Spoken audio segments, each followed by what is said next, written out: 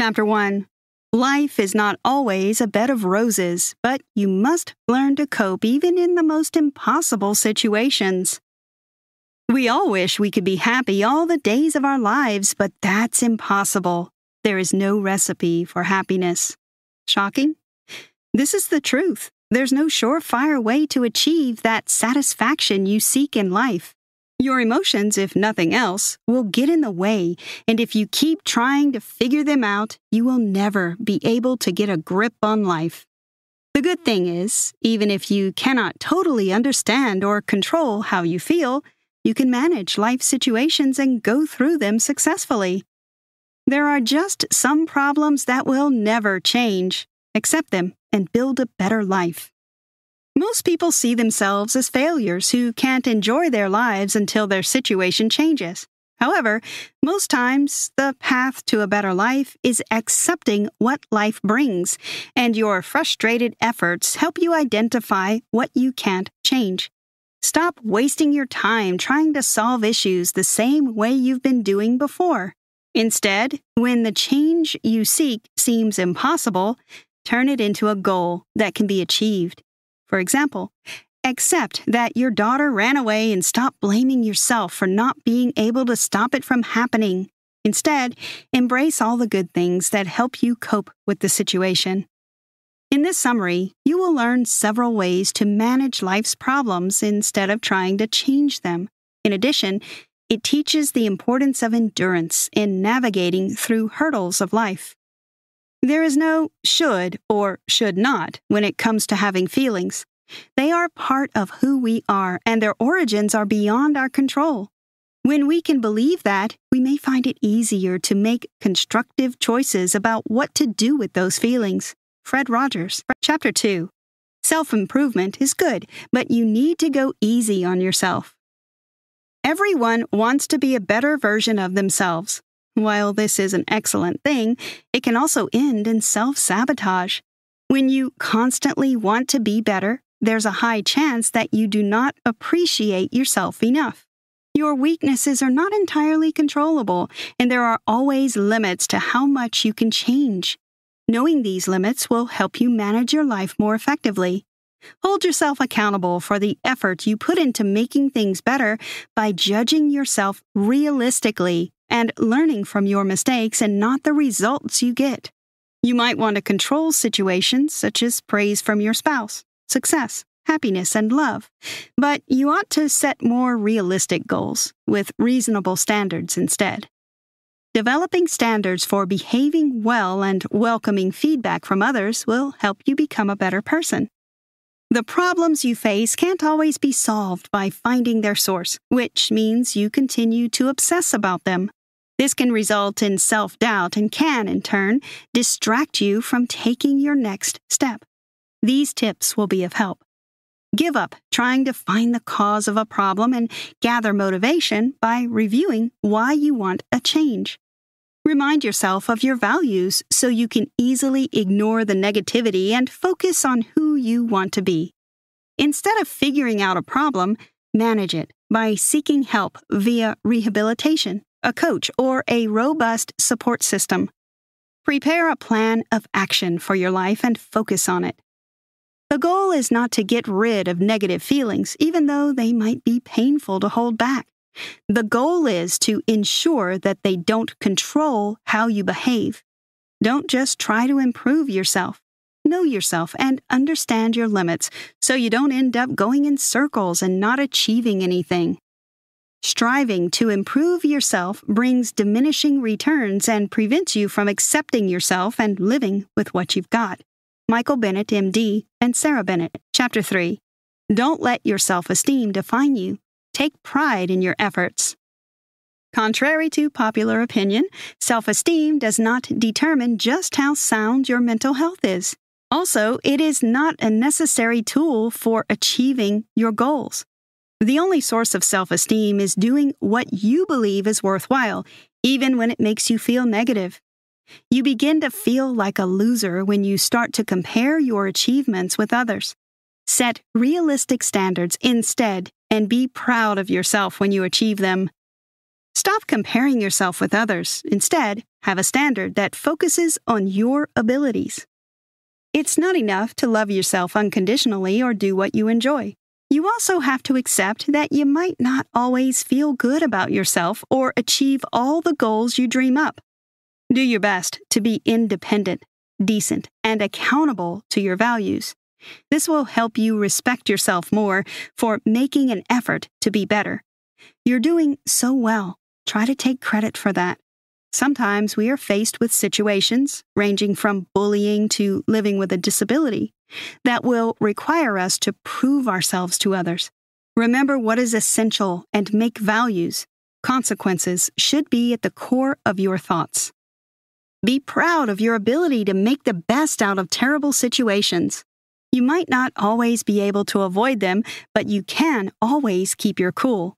You cannot control everything or everyone. Learn to educate yourself on your current situation, fight the shame, rebuild limits, and seek help from a coach or family members. The funny thing about needing to feel better about yourself is that it often starts with feeling that you are worse off than someone else. Michael Bennett, MD, and Sarah Bennett. Chapter 4. Sometimes unfairness can be beyond your control, and it gets worse when you have to deal with difficult people. Fairness is a myth. It cannot exist in the real world because there is always an imbalance of power. You might feel you deserve to live, get closure after childhood abuse, get a square deal, or clear your name after a false accusation. But sometimes we don't always get the fairness we deserve. Dealing with this feeling of hurt when we don't get what we want is a skill that everyone should possess. Learn to accept unfairness, especially when things are beyond your control, and choose always to treat others fairly. Not everyone can be safe or be on the winning side. The sooner you accept this fact, the easier it will be to handle situations when they arise. Whenever you feel like you are being treated unfairly, try to apply these. Even if you can't completely protect yourself from trauma, you can control your reaction to it.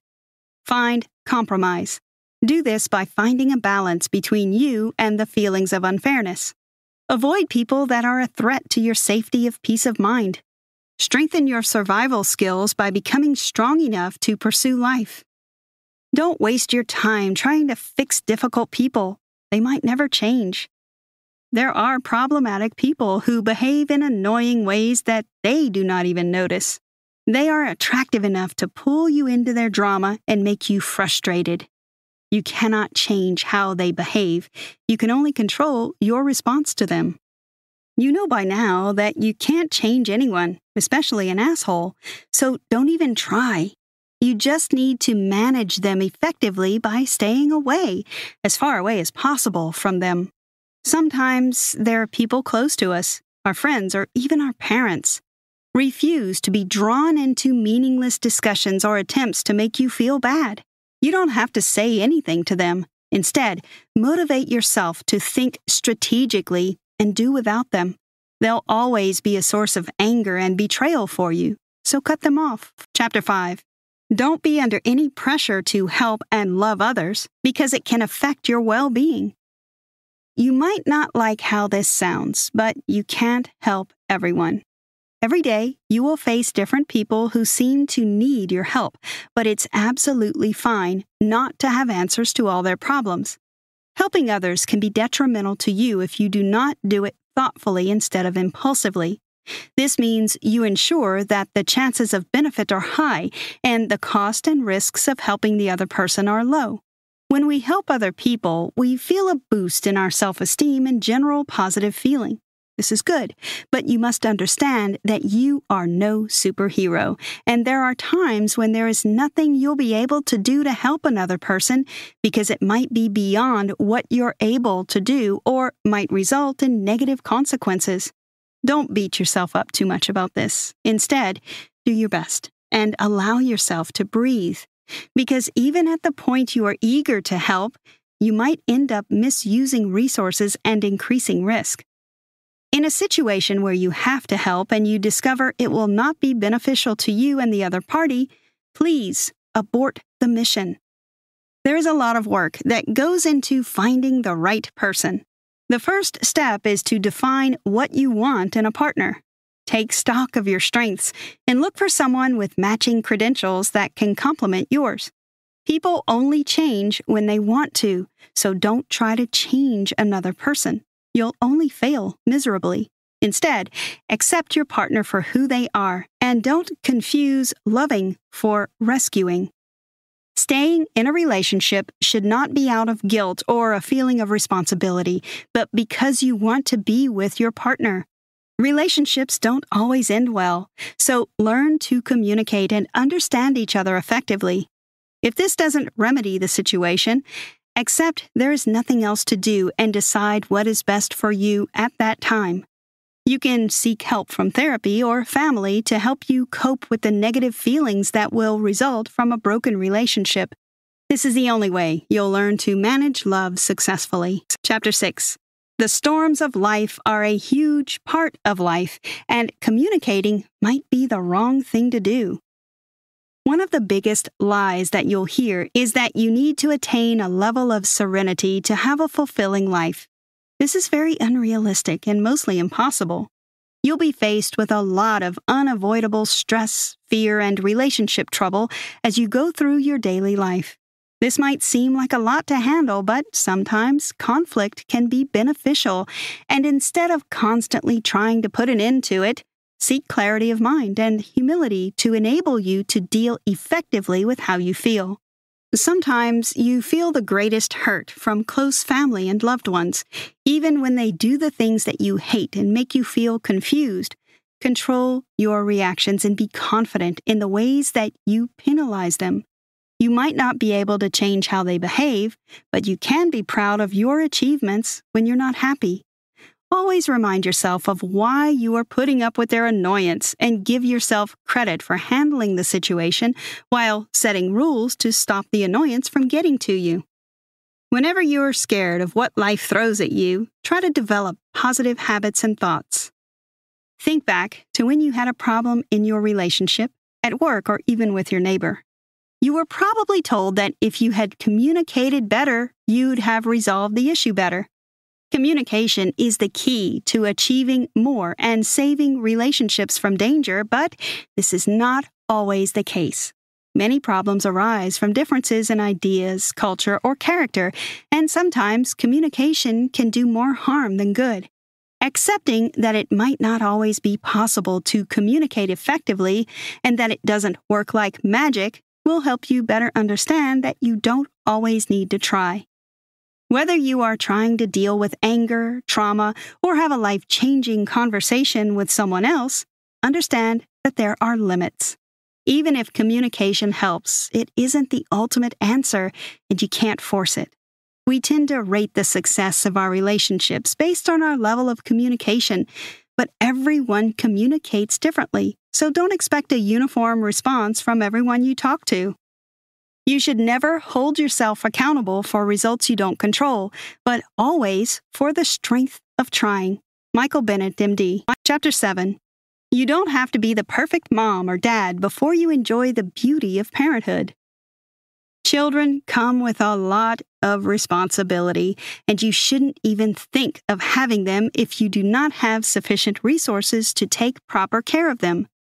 You also can't successfully be a good parent when you're ignorant about children and what they are capable of, so educate yourself as much as possible. It's easy to get lost in emotions and miss the road to good parenting, but these tips should help at some point. Seek help when you don't understand what is going on. Don't downplay the value of learning. Encourage them always to learn new things.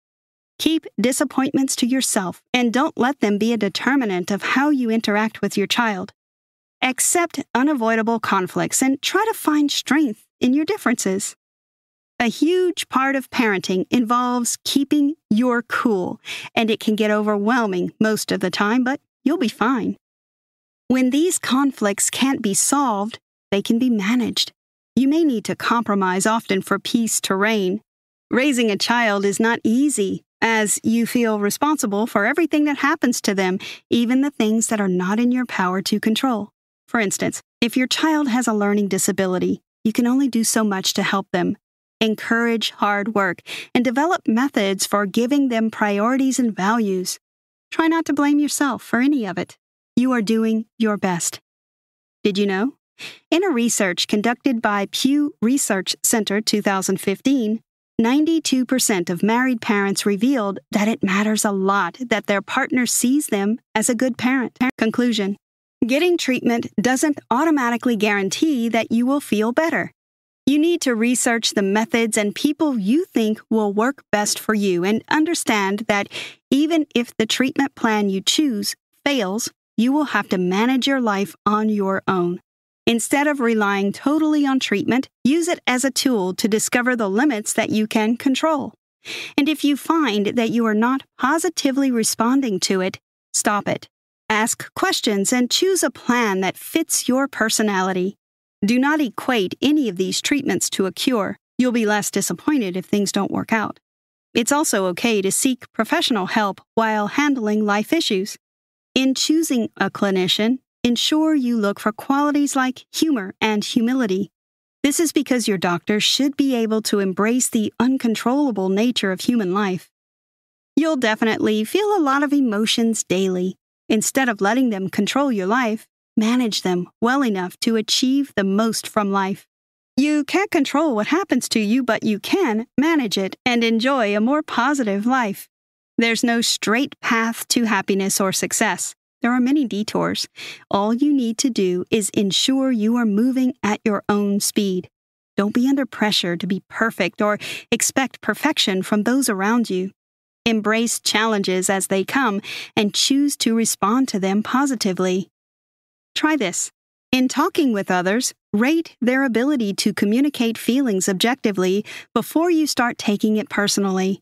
Expand your own ability to read and send out nonverbal messages. Learn to measure commitment and achievement through actions, not words. Assess your ability to tolerate silence without being negative.